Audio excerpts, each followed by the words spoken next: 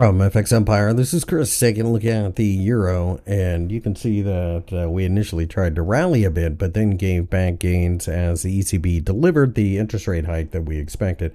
All things being equal, this is a situation um, where, um, you know, I, I think we just stay stuck. Uh, we have the jobs number on Friday, that of course will have a major influence, but we also have uh, a lot of concerns about the economy. We have had a, a pretty big high uh, move higher.